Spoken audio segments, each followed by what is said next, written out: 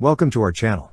Don't forget to subscribe and put likes, because your support is important for us. And here we go. Hyundai Rotem has successfully delivered 18 out of the 56 K2 tanks planned for shipment to Poland this year. The remaining 38 units are scheduled for delivery in the latter part of the year. The company has emphasized that extensive additional performance testing was conducted to maintain the tank's quality before shipping. As of March 21, Hyundai Rotem reported the sequential delivery of 18 K2 tanks to the port of Gdynia, destined for Poland, between March 12 and 20. This delivery is part of a larger order of 180 tanks agreed upon with the Polish Armed Forces Agency in August 2022. Poland has received a total of 46 K2 tanks so far, including the initial delivery in 2022 and an additional 18 in 2023. Hyundai Rotem has received praise in the past for its swift production and delivery of the Polish K2 tanks, surpassing local expectations and expediting shipments. To ensure exceptional performance of the K2 tanks in Poland, Hyundai Rotem maintains strict quality control measures.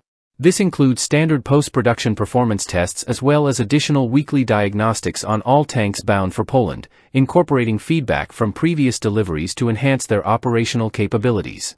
The K2 tank has already demonstrated its effectiveness in Poland, marking its first year of operation last December. It has showcased superior firepower and precision in various local firing exercises and participated in Poland's largest ground military exercise, Dragon 24, alongside other top-tier tanks.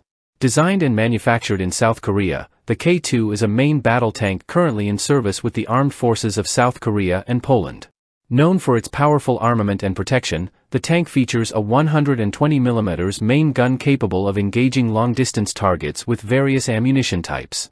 Additionally, it incorporates a 7.62mm coaxial machine gun and a 12.7mm heavy machine gun for defensive purposes against ground troops and low-flying aerial targets. With advanced composite armor and explosive reactive armor ERA, blocks, the K2 offers enhanced protection against projectile impacts and explosions. Weighing 55 tons, the tank combines mobility and protection, boasting a maximum speed of 70 km per hour for swift battlefield maneuverability. Technical features of the K2 include an advanced fire control system for precise target acquisition, an active protection system to detect and neutralize incoming threats, NBC protection, night and thermal vision systems for all lighting conditions, and an automatic fire suppression system. Equipped with a snorkel, it can also conduct limited amphibious operations. With a range of 450 kilometers, the K2 can sustain extended operations without immediate refueling. It accommodates a crew of three and measures 10.7 meters in length, 3.6 meters in width, and 2.4 meters in height. A spokesperson from Hyundai Rotem affirmed the company's full commitment to the success of the Polish K2 tank project, encompassing all aspects from production to maintenance, and fulfilling obligations to the Polish Defense Forces. That's all for now. See you later.